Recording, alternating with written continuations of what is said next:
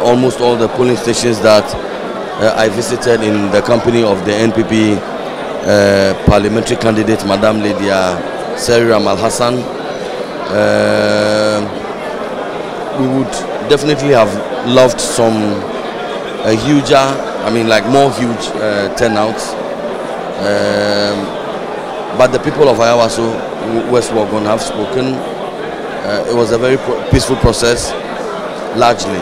Uh, in the dying moments of the day, we got reports that, uh, like in the afternoon or midday, there were a few skirmishes uh, involving uh, some uh, security agencies and some operatives of the NDC but I believe that that's an isolated case. Uh, and generally, it was a very peaceful and properly organized election. And I think that we should commend the Electoral Commission for the kind of organization that uh, they have put into this election. I think by and large that we've had a successful election. I think that um, the, all the players in this enterprise have conducted themselves with great professionalism and with decency. I think the police need to be commended, the electoral commission need to be commended, yourselves, the media need to be commended. The political parties have played their role. I contend that yes, I, I concede that yes, uh, in the morning there were a few isolated incidents, uh, but thankfully the security agencies stepped in and restored uh, calm, and so they should be commended for that.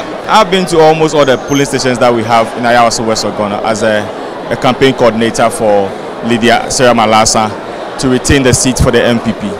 And for me, I, I think that uh, the only major problem we have was the low turnout of voters. Um, I've been to almost about 126 polling stations, and you look at the voter turnout, it's very, very bad.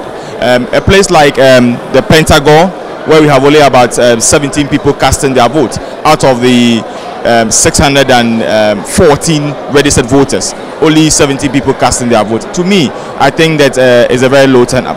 But you know, we have the low turnout in the uh, universities. That is the GIMPA, the Legon, because we know it's going on vacation. They are reopening today, so it's now that many of them are reporting. So you can see that around 4 4:30 when they started reporting from school, they all rushed to the polling station to go and cast their vote. And in respect of the uh, the community, where we have a low turnout, I also attribute it to that today is a working day.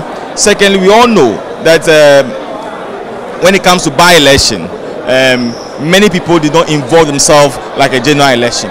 The third thing might also be with the allegation being put out by the opposition NDC that um, they are being attacked that the candidate has been attacked and then there's a gunshot all over whereby nobody has passed away. They came about saying that somebody has passed away, 13 people, 15 people, changing numbers here and there.